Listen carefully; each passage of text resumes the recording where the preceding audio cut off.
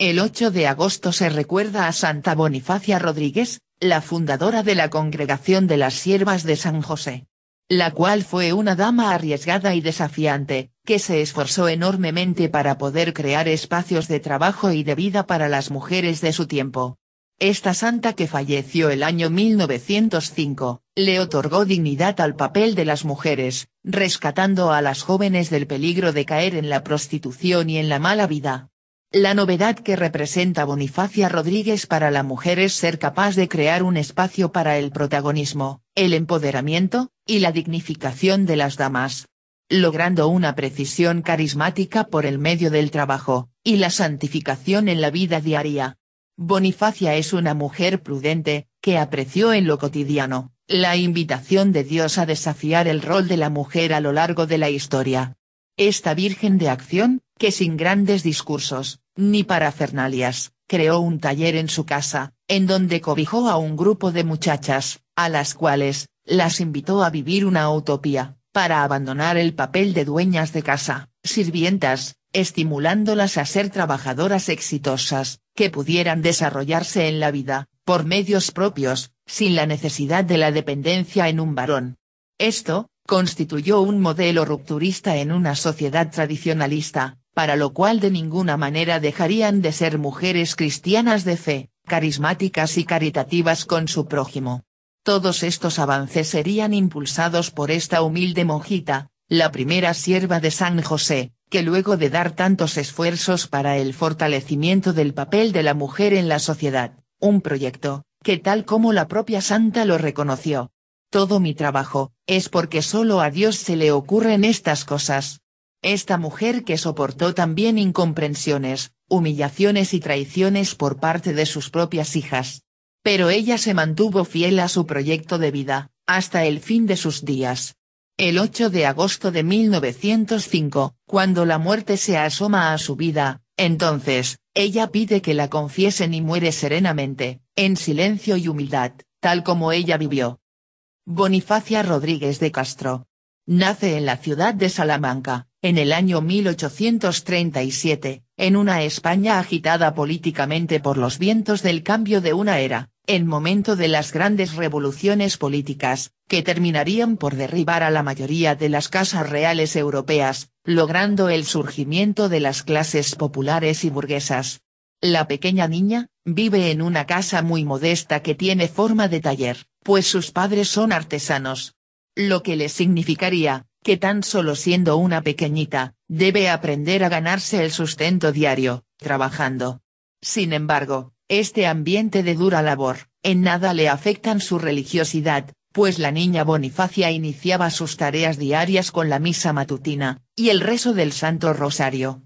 Eran los tiempos en que el fenómeno de la aparición de la Virgen María, en la ciudad francesa de Lourdes, a la pastorcita Bernardita Soubirus, llevaría por todos los rincones del planeta, al movimiento mariano que proclamaba el dogma de la Inmaculada Concepción. Así es como la joven Bonifacia profundizaría en su espiritualidad mariana, por el resto de sus días, viviendo siempre amparada bajo el manto de la Virgen Santísima.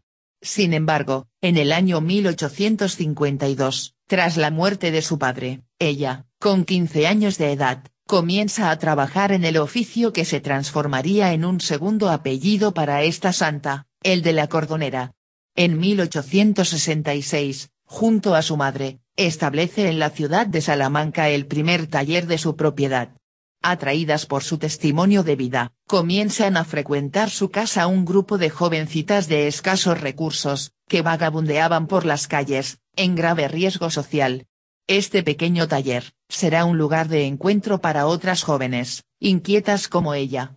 En ese reducido lugar, todas, descubrirán a través de la amistad y el acompañamiento de esta líder natural del grupo, su respuesta a un mundo que se transformaba a causa de la revolución industrial. Lo que significará que este grupo de jovencitas, tomará diferentes rumbos. Unas muchachas parten a vivir a otros lugares, otras se harán siervas de San José, pero todas replican la experiencia del taller con otras mujeres, unas entre máquinas y telares, otras en medio de la oración y la contemplación.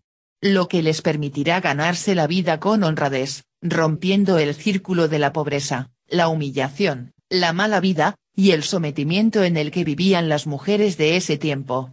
Todas, sin importar su procedencia y su vida anterior, gracias a Bonifacia, llegarán a considerarse como iguales, dignas, y hermanas en la vida cristiana. Esta agrupación se reencaminaría hacia una comunidad religiosa, en el año 1868, cuando llega a Salamanca el obispo Joaquín Liut, imbuido de los nuevos planteamientos que proponen los filósofos sociales. Al conocer a Bonifacia de 31 años de edad, la alienta a seguir con su proyecto de vida comunitaria femenina. En respuesta a este llamado, en 1870, Bonifacia lo elige como director espiritual. Ella le confiesa su deseo de consagrarse al Señor, y como esta santa, había armado su taller, pensando en la Sagrada Familia de Nazaret, el obispo le propone fundar las Siervas de San José, con el fin de recoger a las niñas huérfanas y abandonadas, para que no se pierdan, e instruirlas en la religión y en las santas costumbres, para convertirlas en modelos de vida en la sociedad. Este nuevo proyecto invita a vivir la propia santificación por medio de la oración y el trabajo, y fomenta los principios cristianos. La fundación se realiza formalmente, en 1874 en el propio taller de Bonifacia. En esa oportunidad, la santa proclama que las hermanas de San José, deben anunciar a los pobres la buena nueva, pero esta vez en lenguaje inclusivo, especialmente hacia las damas de escasos recursos, que viven humilladas y sometidas, solo por el hecho de haber nacido mujeres.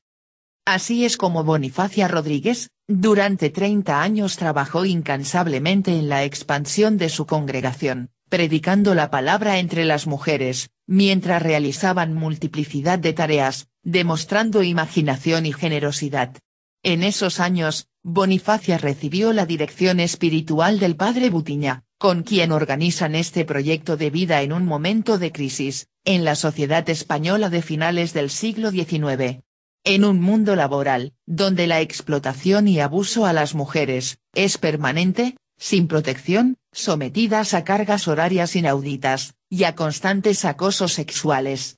Bonifacia y el padre Butiña, ofrecen un lugar cálido, en donde las jovencitas no tendrán que dejar su realidad social, ni su trabajo. En una época en que las diferencias sociales son marcadas, y que afectan incluso a la vida religiosa, en su interior las hermanas se dividen en quienes pueden aportar una dote y, por tanto, tener privilegios, y las que viven al margen por no tener recursos. Pero las siervas de San José, esta nueva congregación, en fidelidad a los tiempos, proponen a las mujeres una vida distinta, no necesitan ni dote, ni dinero para ser religiosas, solo deben querer vivir de su propio trabajo, por ello vestirán de forma sencilla, sin hábito, solo con una medalla, que las diferenciará de las demás mujeres, solo en lo externo. Porque tal como Bonifacia lo dice, internamente son todas iguales, las mismas responsabilidades, mismos deberes, compartiendo un fondo común, y entre todas, sostendrán a las que económicamente no puedan aportar. En una sociedad donde los cambios de rol de la mujer eran cada vez más fuertes, Bonifacia lo intuye, lo descubre desde la perspectiva cristiana. Comprende que la mujer puede levantarse y transformar el mundo, tiene palabra propia, puede enfrentar nuevos desafíos, nuevos trabajos, nuevas tareas. Preparando a las mujeres para una vida laboral cruda y difícil. Así es como Bonifacia vive una vida de entrega a los demás, como un aprendizaje no exento de dolor. Sabe aprender a compartir con otras, a enseñar lo que sabe, deja partir a quienes buscan nuevos rumbos, respeta, espera y no queda defraudada. El dolor, más que aplastarla, la hace sabia como a las mujeres bíblicas en quienes ella se basaba para este modelo de vida. María Magdalena, María y Marta de Betania. Y tantas otras santas de la Iglesia primitiva, que fueron rupturistas para su tiempo, tal como una Cecilia, Viviana, Inés, Lucía, Catalina, Margarita. Todas transgresoras, en nombre de Cristo. Pues ellas nunca perdieron la fe y la esperanza. Por ello, Bonifacia, aun sabiendo que para hacer crecer su comunidad, debe dejar Salamanca, no dudando un minuto en partir a continuar su sueño en Zamora, pero sin ataduras. aprende que este proyecto es de Dios y ella, solo su instrumento. En la nueva ciudad, ella no se deja dominar. Su rebeldía transgresora crea autonomía y dignidad en la mujer, pero también otorga fuerza y perseverancia. Bonifacia comprende de inmediato lo que Dios anunciaba en el taller, una respuesta a las chicas sin futuro, tratadas laboralmente de forma indigna, realizando tareas precarias y desvalorizadas. Por ello, las jóvenes que ingresan al taller, podrán elegir, el ser siervas de San José, o madres de familia, o simplemente mujeres solteras, no importa, ellas son incluidas sin cuestionar ni su pasado, ni su procedencia, ni su credo religioso, ni sus decisiones personales. Lo impactante de Bonifacia, es que ella aceptó en su taller a mujeres de una cuestionable reputación, lo que le atrajo muchos aprietos, pero ella respondía. Yo no soy quien para juzgar a nadie, y tal como lo hizo nuestra madre, María en Nazaret, acogiendo a todos los que llegaban a su casa, yo no soy nadie para cerrarle las puertas a una hermana en Cristo Jesús. El único requisito para ingresar al taller de las hijas de San José, era el ser mujeres necesitadas, que, al igual que la propia directora, Bonifacia Rodríguez, deberán ganarse el sustento diario, por medio del trabajo honrado. En su taller, entre cordones, hilos, cansancio, con oración de voces femeninas, ella las encaminará en la oración, y la humildad. Eran mujeres que anhelaban la necesidad de ser partícipes de la sociedad, logrando relaciones laborales justas, igualitarias, enfrentando tal como a un desafío, la violencia ejercida contra la mujer, el clamor por la igualdad salarial, por las tareas compartidas, por la visibilidad en el lenguaje, en responsabilidades, en distribución del poder. Bonifacia, la cordonera, reconoce en cada persona que llega a su casa a alguien que busca una cuerda que pueda atar sus sueños de dignidad, la esperanza de abrazar una vida digna que pueda dar sentido al quehacer diario. Cada vez que la madre Rodríguez monta un taller, lo hace como el primero, el de su casa, dedicado a la cordonería y pasamanería. Primero funda la primera casa de las siervas de San José en Salamanca, después el de Calle de la Reina en Zamora, así es como Bonifacia articula las condiciones propicias que ven nacer en los finales del siglo XIX, a un colectivo femenino. Porque este proyecto brota de su corazón, así como pronto organizará la Asociación Laica de la Inmaculada y San José. Con ellas mantendrá una relación de años, las incluye en sus espacios, les abre la casa para compartir la vida y la oración, se atreve a transgredir patrones culturales y religiosos, en una época en que las mujeres solo podían ser, madres, esposas, cocineras y amas de casa. Pero no se aceptaba que fueran transgresoras ni desafiantes ante la sociedad. Bonifacia creó un espacio de encuentro para las amigas, un lugar para conversar sobre la oración y la promoción laboral de las mujeres. Los talleres de las Hermanas de San José, son novedad en cualquier lugar donde fueron fundados, son un salvataje para las jóvenes de condición modesta. Bonifacia, a viva voz, dicta en las constituciones de las siervas de San José. Que deben enseñar que nuestro Señor, es un Dios cercano. Cada taller, aparte de ser un punto de encuentro y un refugio para las mujeres pobres. Tal como si fuese la casa de José y María, en Nazaret, en donde toda acción debe ponerse bajo la protección de las manos amorosas de un Dios cercano y siempre incondicional, un Dios que también nos sale al encuentro en los ojos y sonrisa de una mujer trabajadora. Que nos desafía como hijas de Él que somos, nos obliga a responder, a ser audaces, a vivir desde los lenguajes del alma donde solo Dios habita y donde podemos ser valientes. Pero este trabajo apostólico tan transgresor a su tiempo, le había fraguado a Bonifacia Rodríguez, enemigos tanto en la Iglesia, como en el mundo laico. En 1875, el director espiritual de esta santa, el padre Francisco Butilla es desterrado de España con sus compañeros jesuitas, y luego el protector de Bonifacia, el obispo Liuch, es trasladado como obispo a Barcelona. Así, es como Bonifacia se ve sola al frente del instituto a tan solo un año de su fundación. Los nuevos directores de la comunidad, nombrados por el nuevo obispo, entre los sacerdotes seculares, siembran imprudentemente la desunión entre las hermanas, algunas de las cuales, apoyadas por ellos, comienzan a oponerse al taller como forma de vida y a la acogida de la mujer trabajadora en él. Bonifacia Rodríguez, fundadora, que encarnaba con perfección el proyecto que había dado origen a las siervas de San José, no consiente cambio alguno en el carisma definido según las constituciones, que ella misma había redactado junto al padre Butinya. El nuevo director de la congregación, aprovechando largo viaje de Bonifacia, para fundar en Girona en el año 1882, al mismo tiempo, de ir a restablecer la unión con otras casas de siervas de San José, que habían sido fundadas en Cataluña. Es el tiempo propicio, para que el nuevo obispo, junto a los nuevos directores, promuevan y organicen junto a varias religiosas descontentas, la destitución de Bonifacia, como madre generala del instituto. Le seguirán, humillaciones, rechazos, desprecios y calumnias, que recaen sobre ella para hacerla salir de Salamanca. Todos esperaban que ella respondiera, acudiendo a su amigo, el obispo de Barcelona, o incluso al mismo papa. Pero sus enemigos quedan felices, cuando la única respuesta de Bonifacia es el silencio, la humildad, la aceptación y el perdón. Sin una palabra de reivindicación o protesta, deja que se impriman en ella los rasgos de Jesús, silenciosa ante quienes la acusaban, inventando malversaciones, malas administraciones, y mala gestión, para socavar su buen nombre. Como solución al conflicto, Bonifacia propone al nuevo obispo de Salamanca, Narciso Martínez, la fundación de una nueva comunidad en Zamora.